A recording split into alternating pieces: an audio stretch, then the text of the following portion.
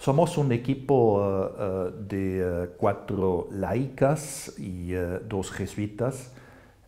y para decirlo muy brevemente, lo que intentamos de hacer en Bruselas, ser la voz en este mundo complejo de las instituciones europeas eh, de los que no tienen voz.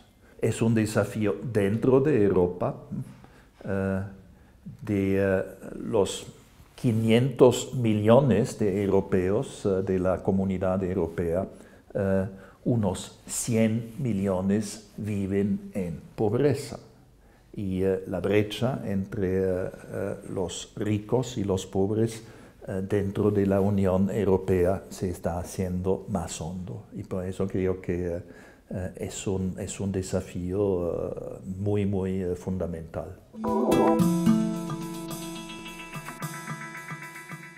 Intentamos eh, de entrar en contacto con eh, las instituciones de la Comunidad Europea, con el Parlamento Europeo, eso significa eh, contactos personales con diputados y hay grupos de diputados que se reúnen alrededor de un tema específico. Por ejemplo, hay un intergrupo alrededor del tema de la pobreza y hay miembros del Parlamento de los distintos grupos eh, eh, en, este, eh, en, este, grupo.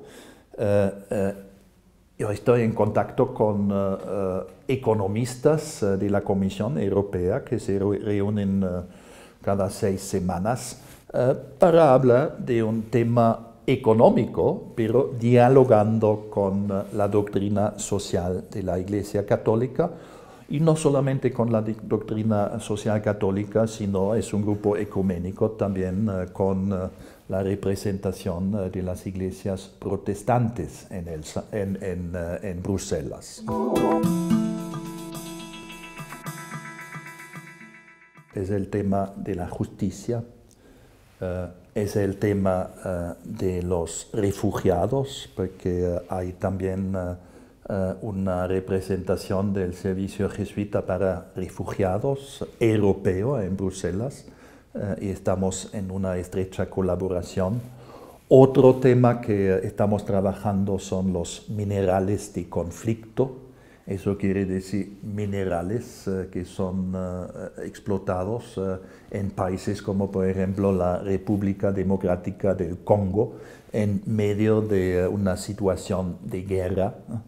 Eh, eh, donde eh, hay condiciones de trabajo inhumanas y en este momento hay un proceso de legislación en el Parlamento Europeo. Van a votar probablemente en junio una ley y una especialista belga que está en nuestro centro junto con otras ONGs intenta de influir en este proceso uh, de uh, legislación, uh, que se pongan condiciones más claras para las empresas que se están aprovechando. Quiero mencionar un tercer tema que estamos trabajando, es el tema del cambio climático.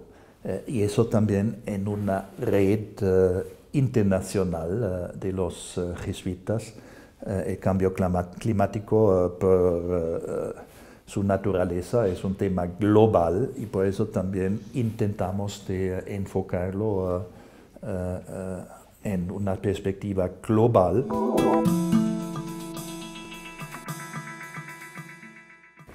Yo estoy trabajando desde hace algún tiempo una visión que nos dejó Ignacio Ellacuría eh, que era rector de la Universidad Centroamericana en El Salvador, un gran teólogo, gran filósofo y eh, que es eh, entre los jesuitas asesinados en el 1989. Y Ellacuría fue un hombre profético y en los últimos años de su, de su vida presintió que va a haber cambios importantes, pero también eh, sintió muy claramente que eh, eh, este modelo, este sistema global que domina, no tiene futuro, no es sostenible. por los recursos, por, las limitaciones de los recursos naturales y en cierto sentido también ya presintió el tema del cambio climático, habló de los bienes globales comunes y desarrolló unos parámetros éticos también, cómo debería ser un modelo alternativo. Este modelo alternativo lo llamó una civilización de la pobreza, que contrapuso a la civilización de la riqueza. Y con eso no quiso decir que nos hundimos todos en la pobreza, sino que llegamos a un nuevo modelo de civilización que necesariamente tiene que orientarse más en los pobres eh, que en los ricos, porque el estilo, el estilo de vida eh, vivido por la quinta parte rica eh, del mundo no es universalizable. Yo veo también eso como parte de, de, nuestro trabajo, de mantener vivo, de fomentar también desde la fe la esperanza que sí podemos cambiar y que sí hay alternativas.